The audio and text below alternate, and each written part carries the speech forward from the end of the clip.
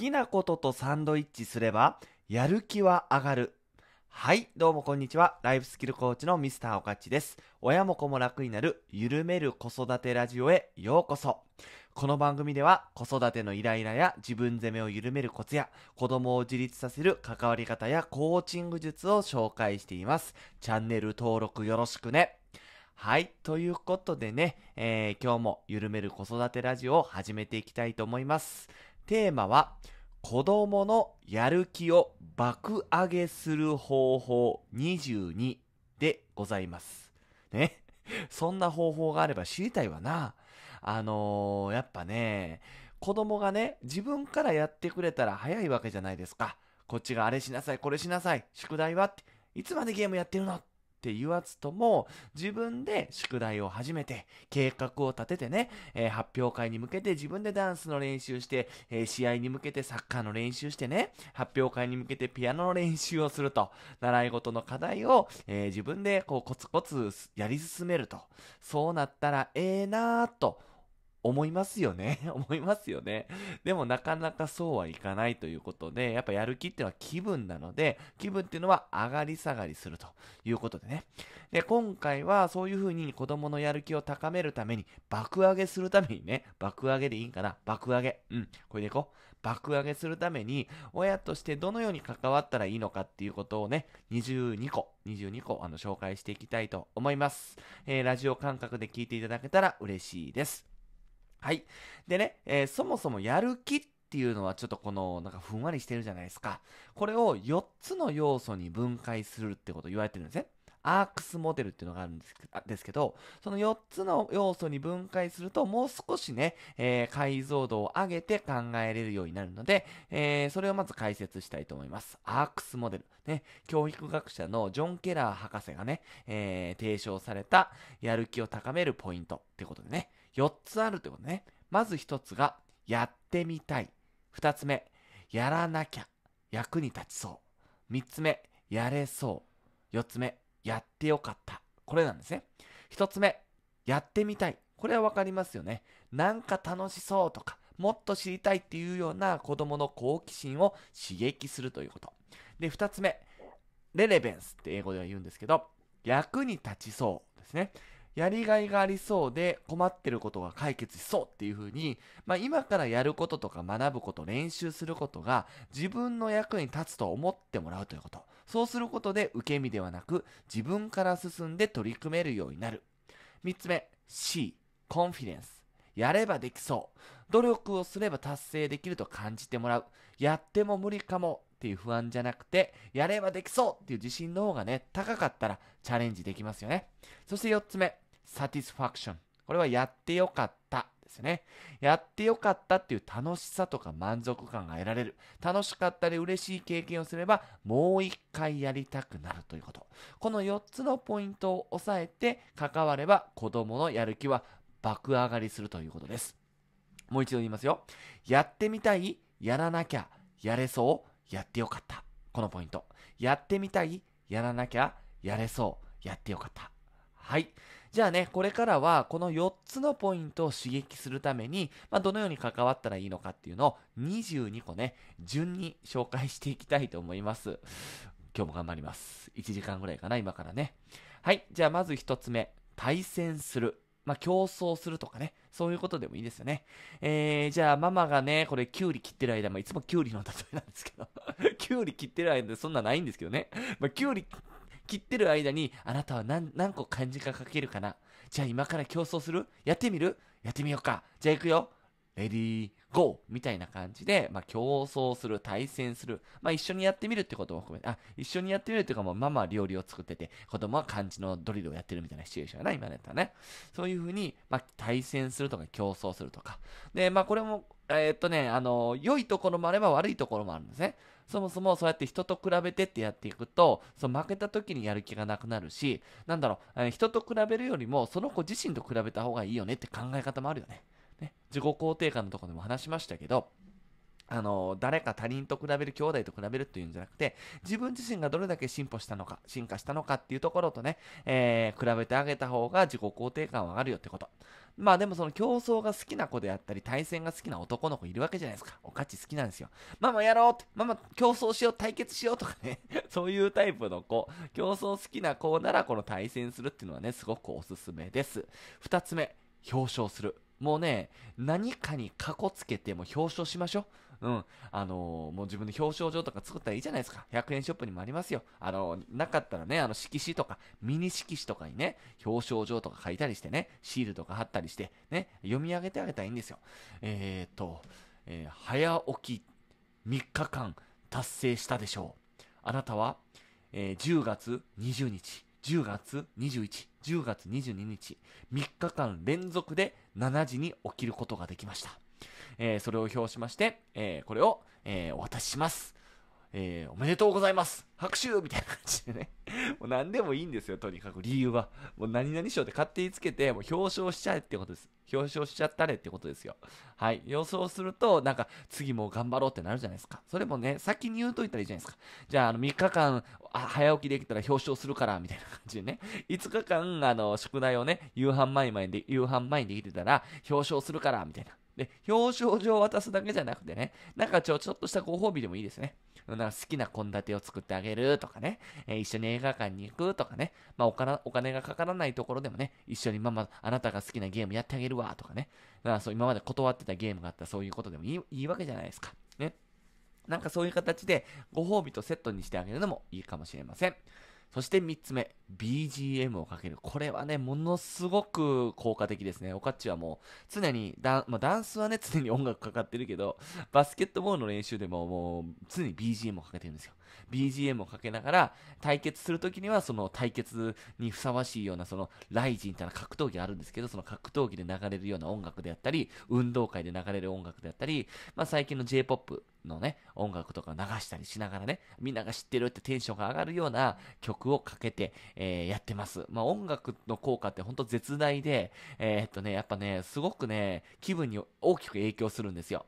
で、それ良くも悪くもですね。夢中になりすぎてしまって、負けた時にものすごく放心状態になって、あのー、ショックを受けることもあるんですけど、とにかくやる気は上がります。で、これはね、その勉強をやりながらやったら BGM、え邪魔やってこともいると思うので、あのー、勉強やる前の段階に、あの、この BGM かけて、ね、BGM かけてあげて、あ、そろそろ、あの、勉強の時間かなって言ってね、BGM をかけて。で、最近の、なんかあの、優秀じゃないですか、ステレオとかね。Amazon なんたらってやつあるでしょ？あの、AI のやつ。えー、時間が鳴ったら BGM が鳴るってやつあるわけじゃないですか。まあ、スマホでもできますよね、タイマーでね。えー、好きな音楽をセットするって。で、その勉強時間になったら決まった音楽がかかるとか、ね、えー、夕飯前、7時前になったら、お片付けの音楽が流れても、ホタルの光でもいいわけじゃないですか。ホタルの光聞いたら、あ、そろそろお片付けやな、ご飯の時間やなとかなるわけでしょ？まあ、僕がかけてんのは、あのね、えー、と、英語のね、スーパーシン、スーパーシンプルソングっていうのがあって、あの、クリーンナップ、クリーンナップ、Everybody Say Clean Up って曲があるんですけど、その曲が流れたらもうおもちゃとかをみんなで片付けるっていうよね、そういうような、あの、合図としてかけてるんですけど、なんかこの節目節目にね、BGM をかけるっていうのはすごくおすすめですね。晩ご飯10分前になったらそのお片付けの音楽が鳴ると。そうなればもうリビングを片付けなければいけないとか、まあ、あの、帰ってきたら、5時ぐらいになったら音楽が鳴って、えー、勉強する時間になるとか。ね。まあ子供自身がかけてもいいと思いますよ。あの、かけて。で、気分が乗ってきたりとか逆にもう集中してたら邪魔じゃないですか、音楽ね。邪魔やなと思ったら自分で消してもいいよ、みたいな感じでね。えー、朝起きる時も好きな音楽をかける。まあここはちょっと微妙で、僕の場合はね、好きな音楽をかけたくないんです、朝のあの、アラームの音。そうすればね、嫌いになるんですよ。もう数々の好きな曲をアラームにしてきたんですけど、その度ごとにね、嫌いになってしまうので だから、あの、好きな曲は僕は BGM をかけません。まあ、こんな人もいるので、まあ、とにかく音楽の力を利用するっていうのはものすごく僕にとっては有効でしたね。僕あ僕にとっては僕自身もそうやし、あの、僕の教室でも使っていることです。はい。えー、そして4つ目。えー、4つ目は好きなこととサンドイッチ。あ、これはいいわな。これはもう僕自身がやってる。僕自身がやってるね。うん、例えばその僕英語って大嫌いだったんですよ。大嫌いだったけど、25歳の時に、まあ、アメリカの大学に行きたいと思ってしまったんですね。あ、あの、思っちゃったんですよ。留学したいって思っちゃったんですよね。これ大変でしょ。あの、中学受験してからそこから中高大体、まあまあ大学受験もしてなかったから、エスカレーター式の学校でね、もうスポーツしかしてなかったんですよ。で、えー、社会人になって3年間もちろん英語勉強してないし、そういう状態でね、英語を勉強して、えー、あの留学したいと思っちゃったもんだから、そこから、でも留学するには英語力が必要なんですよ。具体的に言ったらトエフルが77点以上必要なんですね。それものすごく高い壁なんですよ。で、いきなりそれ、その現実と向き合うのは大変やなと思ったんですよ。まあもちろんね、一番最初にトエフルを受けて、自分の現在地を見つけて、じゃあ点数を上げるために何をするのかって計画立てるっていうやり方もあるけど、まず僕はね、もう全く気が進まなかったから、とにかく最初の1年間やったことは、好きな映画、好きな英語映画を字幕で見るってやつ。英語の字幕、英語の音声で見るってやつやりました。で、何回も見るってやりました。だから、 I Am Sam とか、 Forrest Gump とか見まくりましたよ。 I Am、I Am Sam はもう、あと、あと、チーズはどこへ消えたの本。本、英語の本、英語で読みまくりましたね。まあ、それは内容自身もね、あの自己啓発本で、あの心理学とかのね、ことを学べるし、まあ、あのー、興味深く英語に触れることができたんで、それは良かった。まあ、とにかく、好きな本と英語をセットする、にするとか、好きな映画と英語をセットにするみたいな感じで、とにかく好きなこととギュッギュッてサンドイッチにする。これすごくいいよね。うん、さっきの音楽をかけるっていうのもこれに近いわな。好きな音楽と、まあ、嫌いな、嫌いな感じドリルをセットするであったり、他どんなことあるかな？好きな場所でっていうのもあるよね。うん、自然が好きだったら好きな、自然でやるとかね、宿題をやるとか、おばあちゃん家でやるとかね、えー、とかね。あとはどんなことあるかな？好きなこと。まあ、それは、あのー、ジャンルによってちゃうね。勉強やったら、まあそういう場所であったり、えー、好きなこととセットする、にするとかね。タブレットが好きなやったら、ドリル、か、紙でやるんじゃなくてタブレットでやるとかね。うん。で、朝散歩。朝散歩の時に、えー、朝散歩は嫌いやけれども、好きな、えっ、と、 Voicy、ラジオを聞くって、聞くっていうのと、朝散歩をセットにすると、散歩自身も楽しくなるよね、とかね。そういうことあるよね。とにかく好きなこととギュッギュッてサンドイッチにする。これはおすすめです。そして5つ目。タイマーをセットする。もうこれだけでね、ものすごく有効ですよ。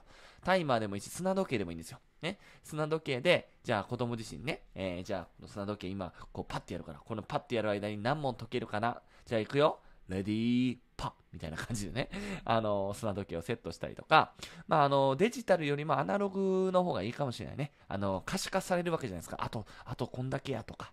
デジタルってのは計算しなあかんでしょ？今4時、4時45分で、4時50分までだとあと5分で頭の中で計算しなあかんからスッと入ってこない。でも、アナログやったら目に見たら、目に、目でわかるから、ね、やる気も上がるんですよ。そういうアナログのタイマーをセットするっていうのはおすすめね。砂時計でもいいし、アナログやったら実感タイマーっていうのもいいよね。実感タイマーっていうのが Amazon かなんかにあります。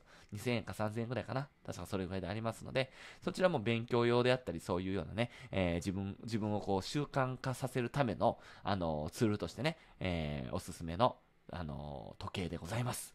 はい。タイマーをセットする。そして6つ目。目的を伝える。そうよね。あれやりなさい、これやりなさい、やりなさいとか、宿題なんだから、みんながやってるんだから。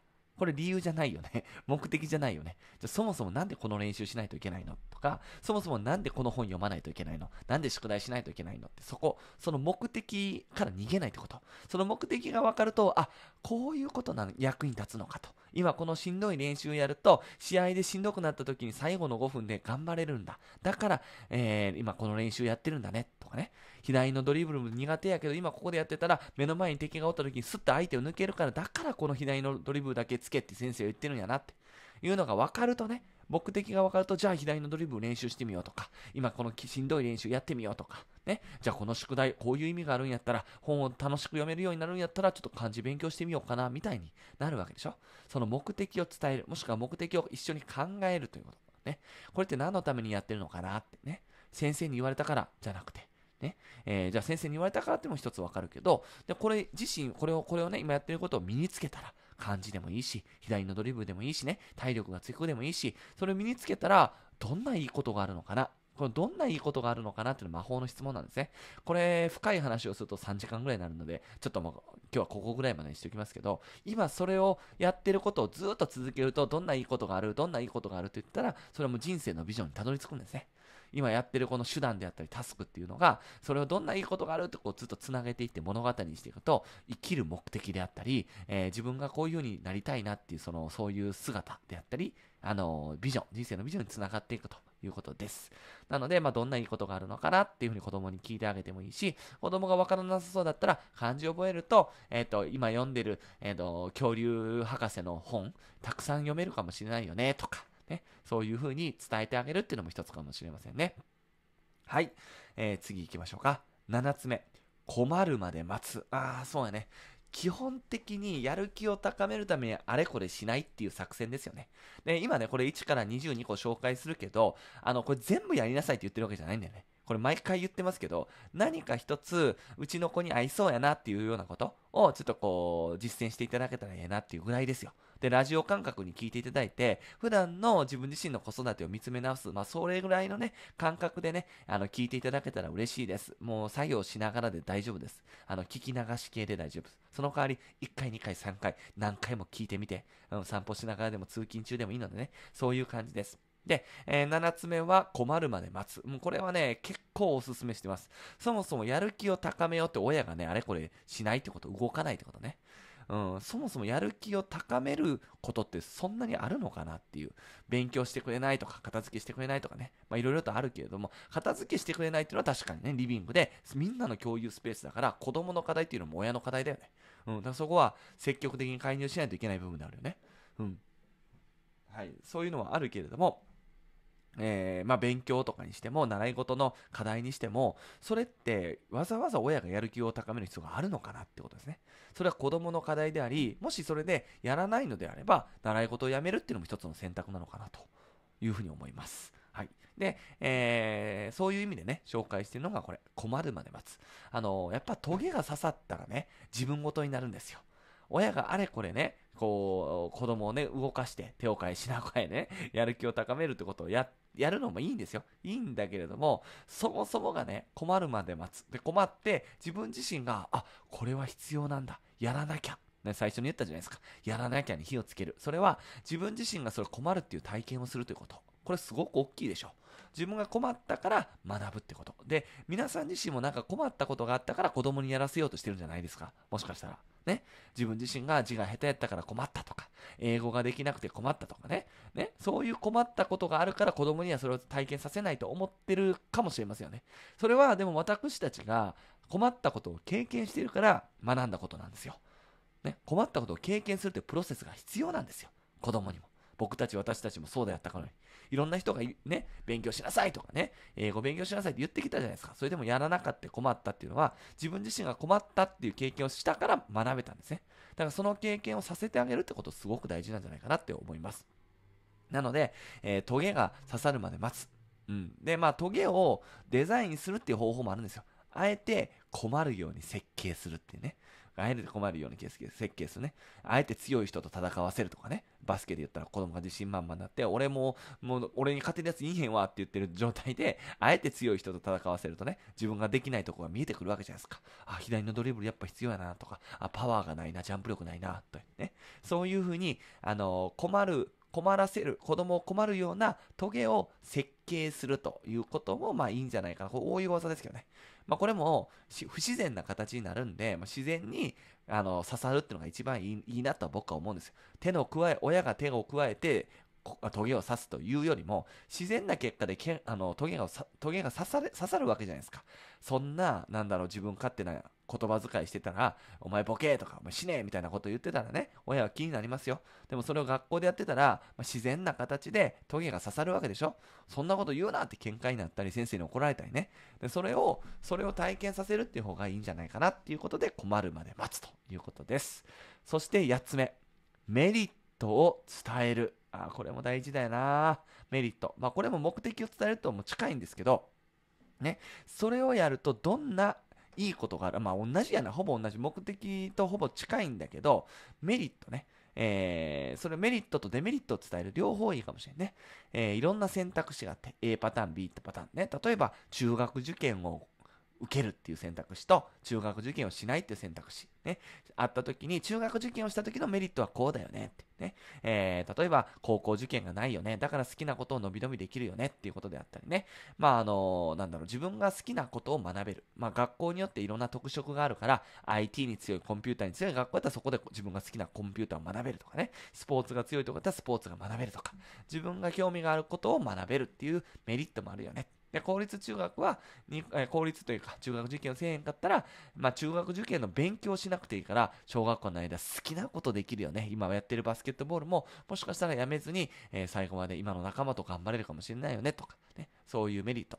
があるよねっていうことを、ちゃんとこう選択肢が、いろんな選択肢があって、その選択肢のメリットを伝えるってことね。これすごく大事だよね。いろんな選択肢があって、それぞれどんなメリットがあるのかということを知った上で、子供に選んでもらう。ね、これすごく大事ね。子供が選ぶ、選んだら、そ選ぶってことは子供が、それ、自分に責任を持つから、自分が選んだ方がやっぱやる気が出るわけでしょ僕たち私たちそうじゃないですか。あれやれ、これやれって言われてもね、まあ怒られへんようにやろうとはあるよ。あるよ。怒られたくないから。それはあるんやけど、じゃあ見てないとこでやらんとこってなるわけでしょ？なるわけでしょ？そうじゃなくて、え、メリットを伝えた上で子供に選ばせるってこと。ね。自分が選んだことならそこにコミットして、えー、やってもらえるんじゃないかなと思います。それではちょっとお水飲もうか。9まで行きましたね。はい。9。小さい目標を立てる。あ、これもすごく大事だね。えー、これはあのー、一番最初に紹介した4つのポイントのやれそうっていうところね。これすごく、そこに近いところ、やれそうっていうところに、を刺激するポイントなんですけど、大きい目標やったら、やれなさそうってなるわけでしょ？僕には無理やってなるわけでしょ？自分ね、自分には無理やとか、やったら馬鹿にされる失敗するっていうふうに思っていたらね、思っていたら、やっぱやらないわけじゃないですか。ね？なので、えー、なんとなくなんかできそうな気がするって思ってもらえるような小さな目標を設定する。それをたくさん設定するのがいいね。大きな目標をその子の口に入るサイズに、あの、小刻みにね、えー、切ってあげて。一緒に立てるのもいいよね。どどどれぐらいだったらできそうかなっていうふう子供に選んでもらいながら、一緒に相談しながら小さい目標を立てて、えー、じゃあそれやってみようかと。一日に漢字取りの宿題全部終わらす。これは大変だよね。それやったら、じゃあ一日、今日は1ページやって、明日は2ページ目やって、えー、次の日3ページ目やって、次の日4ページ目やって、えー、最後の5日目で5ページ目やって完了するみたいな。感じでね、一緒に目標を立てて、えー、小さく小さく分解して達成感を味わってもらうとか、えー、いや、とにかくやればできそうと思ってもらうということ。これ大事なんじゃないか。な、スモールステップとか、ベビーステップ、まあ、赤ちゃんでもこう飛び越えられるようなね、サイズの大きさの目標。これが望ましいんじゃないかなと思います。そして10個目。見本を見せてもらう。ね、これすごく大事ね。これもね、やれそうって思ってもらうためのポイントなんですけど、あのね、あの、自分と同じぐらいの年齢の子がいいですね。えー、例えば逆上がりができないってなった時に、えー、自分と同じぐらいの年齢の子に、えー、3年生のたけし君ができへんだったら、じゃあ3年の、3年生のひろし君、じゃあちょっと魚は、逆上がりやってみてもらえる？って言って、で、魚上り、逆、逆上がりね、逆上がりやってもらうんですよ。で、そのように、目の前でね、同じぐらいのレベルの子がね、や、やると、あ、なんか自分にもできそうって思うんですね。で、頭の中でね、イメージの中でもう練習してるので、えー、見ながらこれイメージの中で練習してるんですよ。頭の中で練習してるので、イメージができたら体動かしやすいんですね。どうやるのかイメージができなかったらできないんですよ。そう。そうやって見本を見せることで、なんとなくできそうっていうイメージが高まるんですね。なので、一歩踏み出しやすくなるということです。そして、11個目。子供の行動を実況する。これはね、めちゃくちゃやるんですよ。おかちマイクを持って。さあ、たけし君がドア、ドアを、ドアの横で今何をしてるんでしょうか？あれは、あれは、えー、お猿の真似でしょうか？いや、ゴリラかな？いや、チンパンジーかな？どっちかな？いや、歩いてきた。あ、あれはお猿だな。みたいなわからないんで、今しょうもないんだけど、なんかとにかく子供の行動を逐一実況する。そのまま椅子に机に向かって椅子に座るのか座らないのかどっちだ？座ったみたいな 感じでね、えー、実況してみると。そうするとね、なんかね、見られているっていう感覚になるんですよね、子供としてはね。うん。で、あのー、なんていうか、気分が高まっていくの。まあ、あくまでもね、ウォーミングアップ的なもんですよ。やっぱり、なんていうか、その、疲れていたり、もう元気がない時っていうのは、何やってもやる気が、何を、何事にもやる気がないわけでしょ？そこにちょっとこう、火をつけるために、そのアイスブレイクじゃないけど、アイドリングですよ。車で言ったら、このアイドリングぐるんぐる回してね、えー、アクセル踏んだこう進みやすくするためのその時間みたいな感じでね、子供の行動を実況する。今日はチンパンジーの服、服服を着ています。なんて可愛いチンパンジーだ。そもそもチンパンジーってなんて泣くんだろう。そう言ったら子供がね、パオーンとか言ってするんで、あ、パオーンって泣いたそれチンパンジーじゃなくてゾウちゃうんみたいな感じでね、突っ込んでみるとか、まあ、とにかく、まあ、子供の行動を実況するということを、これも僕、僕はよく使っております。ようやく半分まで来ましたね。はい、まだまだいけますよ。今日第2回目なんでね、この緩める子育てラジオね。えー、いい感じです。はい。えー、12個目。頑張った後の楽しみを作る。まあ、これはね、わかりやすいよね。僕たち、私たちもするよね。えー、じゃあ今からあと100メートル頑張ったらプリン食べるぞ絶対やるぞ絶対がん走ってプリン食べるぞみたいな感じで、とにかく、まあ、どんなちっちゃなことでもいいんだけど、楽しみを作る。まあ、ご褒美みたいなもんですよね。えー、っと、あの、目の前に、人参の目の前に、人参ちゃうわ。うさぎの目の前に人参を垂らすみたいなイメージですよ。ね。頑張った後にこんな楽しみがあるんだ、あんな楽しみがあるんだと思うと、頑頑張れるわけじゃないですか。来週おばあちゃんち行くよね。おばあちゃん家に行った海水浴行ってあんなことやっていとことも遊んで鬼ごっこしてセミ取りして楽しいこといっぱいあるよね。ここのページまで終わったら、ね、えー、向こうでは宿題しなくていいからね。みたいな感じね。ね。なので、あの、おばあちゃんち行くまでここのページまで終わらそうね。いけるかなみたいな感じで、えー、子供と相談しつつね、頑張った後の楽しみを作って、それまでの計画っていうのを立てて、えー、一緒に、えー、一緒に、一緒にやるというか、もう子供にやってみる、じゃあやってみようみたいな感じでね、え頑張った後の楽しみを作る。これはね、めっちゃいいんじゃないですか。まあ、これはね、あの、今回は子供のやる気を爆上げする方法っていうことですけど、これを自分自身のやる気を爆上げするためにも使えますからね。で、おかっちこの緩める子育てトークってやってますけど、これ親も子も両方使えます。親も子も使えるための、まあ、いわゆる非認知能力を高めるってことなんですけど、大きく言えばね、非認知能力を高める、まあ、僕たちはスペシャリストということで、えー、親と子の非認知能力を高めるってことをね、まあ、インスタグラムでもそうやし、リアルの教育の現場でもやってるわけで、これは、あの、子供だけじゃなくて、自分自身にも使えますので、えー、自分にも置き換えてね、聞いていただけたら嬉しいですよ。はい。13個目、失敗談を許可する。あ、これ間違ってんな。失敗を許可するですね。失敗を許可する。後でちょっと変えとこう。ちょっとメモっときますね。13。はい、失敗を許可するね。これね、いや、すごく大事よね。あの、これはやっぱやれそうっていう自信のとことつながるんだけど、あの、自分では無理かもとか、失敗するかもっていうその恐怖とか恐れがあると、やっぱりやれそうって気にならないよね。で失敗した時にバカにされるんじゃないかとか、ね、笑われるんじゃないかっていう、その失敗への恐怖っていうのはやっぱすごく大きいんですよ。まあ、僕たち私たちもそうじゃないですか。なので、失敗に対する恐怖を緩めるってことがすごく大事よね。そのために、えー、失敗って何なんだろうなっていうことを日頃から話し合う。失敗っていうのは間違うことじゃなくてミスすることじゃなくて、もしかしたら一歩踏み出さないことなんじゃないかなとか、立ち上がらないことなんじゃないかなとかね、そんな話をしたり、エジソンの話もあるわけでしょ私は99回失敗したんじゃない。99通りのうまくいかなかった方法を発見したんだ。みたいな感じでね。やっぱり成功するためには、うまくいかないことを見つけることが大事で、それうまくいかない方を、方法を消していくことで、うまくいく確率が上がっていくってことじゃないですか。そういうことでしょ？なので、そういう風にやって、えー、世の中のこの世界は明るくなったわけで、世界を輝かせたわけで、エジソンはね。えー、そんな偉い人でも頭がいい人でも失敗するからこそ、そういう、えー、すごいことができたんだよってことを日頃から伝えていくとともにね、自分自身がまずは失敗を見せていくということ。お母さんも昔こんな失敗したんだよ、あんな失敗したんだよって。ね、失敗したけれども、今はこんなことをそれを乗り越えて今こういうふうになるんだよ。えー、お母さんはね、あの今歌手になりたいと思って頑張ってて、ね、だけど今地域のコンテストも全然受からへんし、あなたも知ってる通りね、この高い声全然出えへんやろでもな、今こんな練習しててね、えー、来週に、でもちょっとずつ良くなってるの分かるでしょ。1年前はね、もうこんな歌全然歌えてなかったよ。もうあんた耳塞いでたやん。でも今はどう？ちょっとは、まあ、聞いてもええかなって思えるようになってきたやろそう。それはね、失敗してきたからなんだよ。努力してきたからなんだよ。できなかったことをできるように一つ一つ、ねえー、頑張ってきたからなんだよ。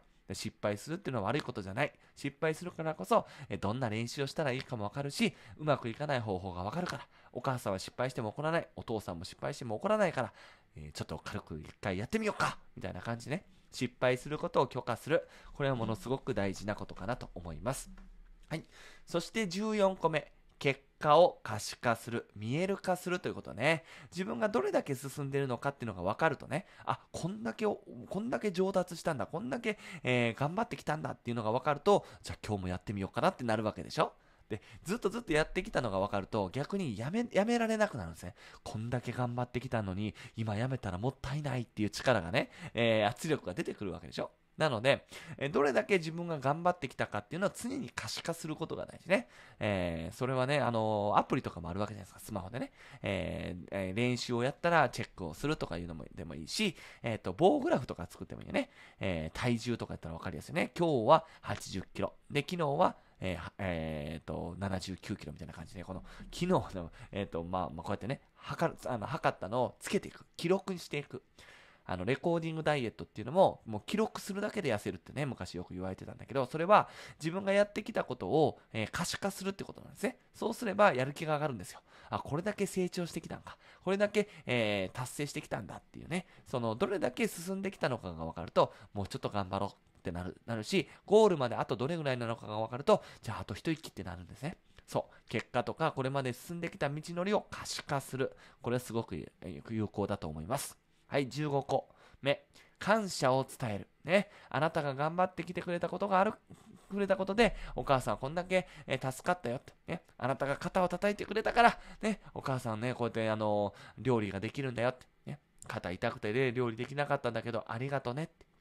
やってくれたこと、子供の言動、行動、発言に対して、私はこう感じたよ、ありがとうっていうふうに、えー、感謝を伝える。そうすればね、人の人の役に立つ喜びっていうのはね、私たち社会性の生き物だから、何かしらあるんですよ。本能としてあるんですよ。人の役に立ちたいっていうのがね。で、そこを刺激するという形でね、えー、誰かの役に立てたっていう感覚がね、もう一回やってみようっていうふうにね、やる気につながっていくということです。なので、積極的にね、子供が頑張ってることで、対して感謝を伝える。ね。でこれもちょっとあの伝え方もちょっと工夫しないといけないで、といけなくて、なんだろうな、あのー、あなたが勉強してくれるから私は嬉しいっていう風になってしまうとね、ここがちょっと難しくて、そもそも自分が勉強したかったからやってるのに、それが褒められるためにやるって、その、前もちょっと話したけど、内発的なやる気、やりたいからやる、知りたいから勉強するっていうところでやってたのを、なんだろうな、えー、ママに褒められるからやるとか、ご褒美がもらえるからやるっていう風な形になってしまうと、その、元々の湧いて、湧き上がってきたその内発的なやる気っていうのがね、えー、こうちょっと、こうちょっと低下するってこともあるんですね。アンダーマイニング効果とも言われてますけど、なので、そもそも本人が、えー、内発的にやってること、自分が楽しいからやってるっていうことに関しては、そこまで褒めなくてもいいんじゃないか。何もこう、何もその声をかけるってことしなくていいんじゃないかなと。ただ、あなたが元気そうで嬉しいよと。あなたが楽しそうで私も嬉しいよっていうことぐらいでいいんじゃないかなっていうふうに思ってます。ね。何でもかんでも、あなたが勉強してくれたから嬉しいよっていうふうにね、そういうふうにつなげると、なんか子供を支配してしまうようなことにもなるので、えー、まあ、感謝を伝えるってことに関しては、まあ、そうやってね、あなたが何々してくれて嬉しいよって伝えるのはいいんだけれども、えー、ここ微妙やね、どういうふうに、子供が全くやる気がないときはね、そういうふうに開発的なアプローチもいいので、そういうことはちょっとやる気がないときには、こう感謝を伝えるであったり、外側からアプローチする、声掛けをするっていうのも、まあ、有効なんでね、えー、使っていただいて、まあ、子供のやる気に火がついたら、そういう声掛けもちょっとずつ減らしていくってことですね。先ほど言ったご褒美っていうのも同じですね。ちょっとずつ減らしていくっていうのがいいんじゃないかなと思います。で、そもそも習慣化したらね、やらないことが気持ち悪くなるから、もう勝手にやるんですよ。ご褒美とかなくてもね。はい、僕たちもそうじゃないですか。ここまでやってきたんだからとかね。えー、寝る前にも歯を磨くってもう習慣化してるから、えー、それ磨かんかったら気持ち悪くて寝れないってことなんですよ。ね。ね、ご褒美をもらわなくても磨くってことになるわけじゃないですか。ねそういうふうに習慣化させるためのアプローチとして、そういうふうに声掛けをしたり、えー、っと、ご褒美をあげるっていうのは有効かなと思います。はい。えー、それでは16個目。一緒に計画を作る。ね、これ大事よね。まあ子供に全部任せるっていうのもいいんやけど、そうなるとね、なんかすごく、もうやる気が、最初計画を立てるときっていうのは、ね、なんかすごい大きいこと言っちゃうんですね。えー、1日100メートル20本走るみたいな。無理なんですよ、これ。無理なんですよ。そうすると計画倒れで終わってしまうこともあるので、まあ計画倒れを体験させるっていうのもすごくいいんですよ。いいんだけども、それとともにね、一緒に計画を作るっていうのもいいんじゃないかなと。で、計画を作ったら、計画を見直すときっていうのも決めておく。じゃあ今これ計画一緒に立てたけれども、じゃあ3日後にどうだったかをちょっと見直してみようねと。で、その時に計画を立てたけど、もう計画を変えてもいいんだよっていう形でね、一緒に計画を作るっていうのはいいんじゃないかなって思います。18個目、家族でお祝いをする。これはすごくいいよね。うん、これ、あ、ごめんなさい。7や。すみません。次17です。スタンプカードを作るね。はい。スタンプカードを作る。まあ、これはね、あのー、結果を可視化するというところにもつながるんだけども、すぐにできることでね。スタンプカードを作って、早起きできたらスタンプを押すとか、勉強できたらスタンプを押すとか、で、これが3つ溜まったら、えー、じゃあね、おやつ、100円のおやつ買っていいよとかね、えー、そういうご褒美も短期的には有効なので、そういうふうにスタンプカードを作ると、自分がどれだけやってきたのかっていうのもわかるし、じゃあスタンプ押すために頑張ろうってなるわけじゃないですか。まあ僕、僕らもそれやってますよ。えー、ダンス教室でね、あの、来てくれたら、スタンプを押す。まあ、来てくれたらスタンプ押す。とにかく、とにかく来てくれたらスタンプ押す。ね、えー、授業に入れなくても来たらスタンプ押すっていう風にやってます。そうすると子供たちはね、なんかここの場に来たくなるからね、そういう風にやってます。はい。そして18個目。家族でお祝いをする。うん、これね、いいよね。子供が頑張ったことをみんなでお祝いをする。ね、ママ、ママがね、頑張ったねっていうのもいいんやけど、みんなで、あ、ね、あの、普段子供と関わっていないパートナーに対しても、あんまり、まあ、まあ、全くゼロっていうわけではないと思うんだけど、やっぱりその、どちらかにね、偏ってしまうことってあるわけじゃないですか。まあね、まあ、同じぐらいの分担でやられてる方もいらっしゃると思うんですけど、普段みら、あの、子供と接してない方、方も、パートナーにもね、そういうことを伝えてあげて、えー、今日学校でね、先生に褒められたんだよとかね、えー、最近毎日早起き7時に起きれるようになってるんだよって伝えてあげて、みんなでお祝いをする。チラシ寿司だとかね、チラシ寿司好きやな。手巻き寿司の方が好きなんですけど、どっちかって言ったらね、チラシ寿司よりもね。手巻き寿司にしたらうなぎだけすぐなくなるんですよ。うちの家庭。もうあのー、どうやろう。最初の2分ぐらいで、3 2分は言い過ぎた。10分でうなぎはなくなります。うなぎは。みんな好きなんですよ、うなぎ。ほんまに。早いうなぎがなくなるの。ね。まあ、ちょっと話それたけど、まあ、そういう風に、まあ、家族でお祝いをする。ね。それがいいんじゃないかなって思います。後半ちょっとおかち手抜きになってます？大丈夫かな？内容薄くない？大丈夫かな？はい。じゃあ、あと4つかな？えー、気合い入れてやっていきたいと思います。好きなことを見つける。これ19個目ね。いや、これね、やっぱ本質的にこれなんかなっていう気はしていて、あのー、嫌いなことを無理やりやる気を上げさせるんじゃなくて、好きなことを見つけて、好きなことでやるわけじゃないですか。ゲームだって。ね？ドッジボールだって。ね、缶蹴りだってするわけでしょ？まあ缶蹴り古いけど。好きなことを見つけるってこと、見つけるサポートをするってことが結構大事なんじゃないかなって気はしていて、えー、そのためにやっぱね、体を動かすってことがすごく大事なので、まあ次のことに、次のことにもつながってくるんだけどね、そこはまあ後でがっつり話すけども、あのー、とにかくいろんな体験をさせる。ね、心が動くような体験をする五感ですよね。五感、だからそのテレビを見るだけやったら、やっぱ見ると聞くだけでしょ？触れるってことがないわけで、味わいもないし、ね、匂いもないから、五感が刺激されるようなね、体験をするっていうのがすごくいいんじゃないかなと。ちょっとサッカーに興味を持ち出したら、じゃあプロの選手の試合見に行くかとか言うてみたりとかね。えピアノ好きって言ったら、じゃあ今度なんか発表会あるみたいやけど、行ってみる？とか誘ってみるとか、もう実際その現場に行くっていうのがすごくおすすめですよね。で、で、次のとこにも繋がるんだけど、やっぱこう自然の中で体を動かす。これね、やっぱすごくね、自然の中にはね、いろんな、あ不思議なことがあるんですよ。なんかアリサが行列、してたりね、クモの巣めっちゃでっかいクモがいてたりとか、なんかカメムシの行、カメムシのこのなんだろう、集合というか、グッとライトのとこ集まってたりね。なんかね、いろんな、見たことない世界があるんですよ。あの、倒木ってまあ木が倒れてたりとか、あの、川の、川がね、なんかいい感じになってたり、上流とか行ったらもうすごい見たことない景色ばっかりですよ。僕最近山登りにはまってるんだけど、いや、こんな世界あったんやっていう世界ばっかり。もうそうそれを見てしまうとね人が作った世界を美しいって感じられなくなるんですねもうこの自然の美しさにはかなわへんなって、うん、もうそのありのままじゃないですかね、でやっぱそういう自然の中で虫さんと遊ぶとか、まあ、安全なとこで川でチャプチャプするとかね、まあ、山でねあのかくれんぼするとかどんなことでもいいけどとにかく体を動かす、うん、体が動くから心が動くんですよ。体が動かないと心が動かない。気分が上がらないんですよ。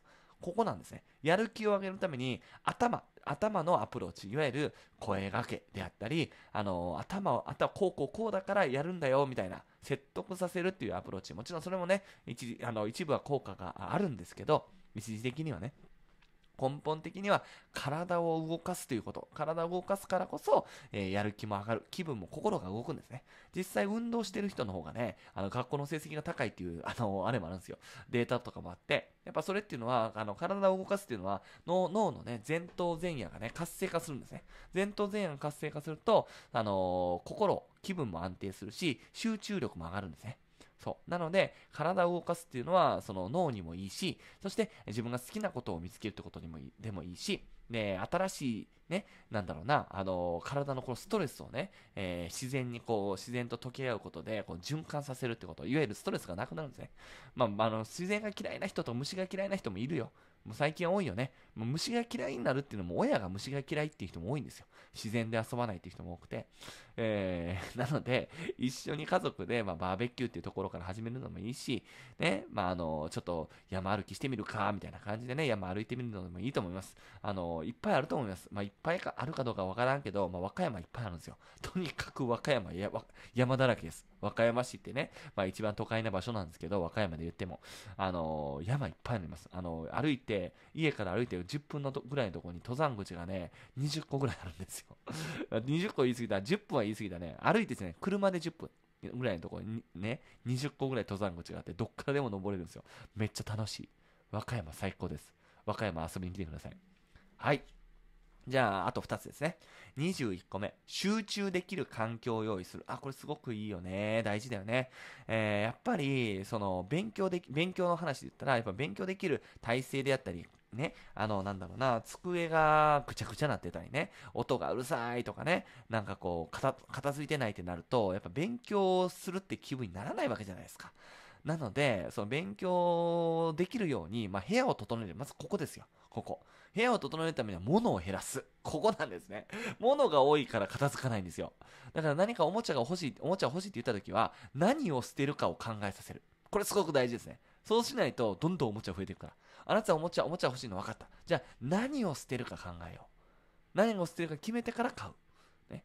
そ、それを、そういうふうにやられているご家庭もあります。とにかく物を減らす。物を減らすと散らからないんで、物を減らすであったり、その、静かな環境を用意するであったり、えー、片付いているってこと。ね。で、ここをまた、またやるよ。どう、片付けができるようにするにはどうしたらいいのかってまたやるけれども、ね、ここ難しいよな。えー、難しいからほっといておいたら、ほっておいたらいいんじゃないかっていうのもあります。あのね、困るまで待つっていうことも言いました。なので、もしかしたら、その、部屋で勉強させるっていうよりも、家で、家で、家でっていうか、リビングで、えー、片付いた部屋、整ったところで勉強させるっていうのも一つかもしれませんね。うん。誰かに見られてるってことで、あ、なんか見られてる意識でやれるってこともあるわけじゃないですか。で、僕たちが図書館行ったりスタバで勉強するってのもそうでしょ？あれも別にその、まあ、場所が素敵っていうのもあるけど、誰かに見られてるってやったり、なんかスタバで、えー、このビジネス本読んでる私って素敵みたいな、そういう部分もあるわけじゃないですか。ね。なので、まあ、リビングで、えー、勉強させるっていうのも一つのアイデアですね。集中できる。ね。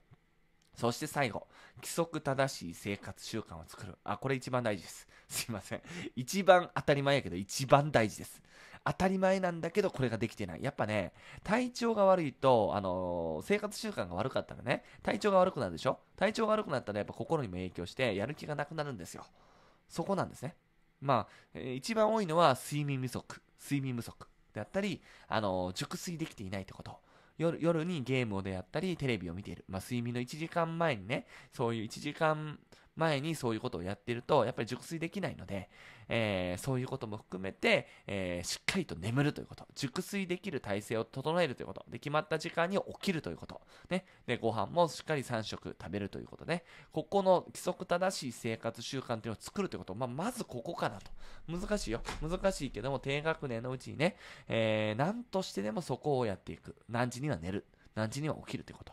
ね、ここは本当難しいところ、どこまでそれを押し付けるのかってこと。しつけっていうのは抑圧であり、押し付けになるから、嫌、嫌な子供を無理やり寝かすのもどうかっていうのはあると思うけど、でもね、そこは、その、やる気を高めるっていう観点であったり、子供のね、えー、なんだ、体調を整えるっていう観点で言ってもね、やっぱ生活習慣はすごく大事なので、で、一回生活習慣を崩した時の状態を体験させるっていうのも一つよね。そこまで言うんだったら、何を言っても聞かないんだったら、えー、そういうふうに生活習慣が崩れた状態を体験する。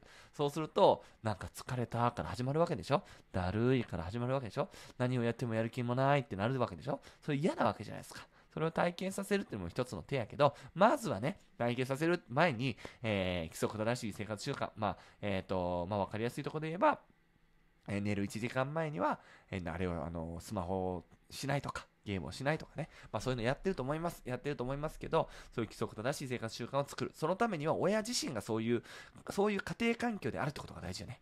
親自身があの不規則な生活をしていったり、もちろん仕事でね、そうしないと、そうせざるを得ないこともあると思います。あると思うんだけれども、できる範囲でね、規則正しい生活習慣を家族全員で行うってことは大切なことなんじゃないかなと思います。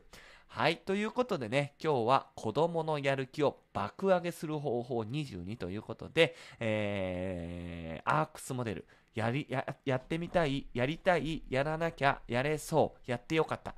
これに火をつけるための22の作戦を紹介させていただきました。ね。えー、何度も言いますが、これ22全部やらなあかんってことは、っていうわけではなく、なんかね、参考になればええなと。参考になる材料としては多け多ければ多いほどいいわけでしょで、なんか使えるなって思うやつだけ聞いたらいいです。あとはもう無視してください。で、一回やってみてね。で、やりながら子供に合う方法をね、見つけていただけたらいいんじゃないかなと思います。で、これね、2回3回聞いていただくことでね、あ、こんこう自分のなんだろう、子育て観であったり、子育て哲学っていうのがね、磨かれていくと思います。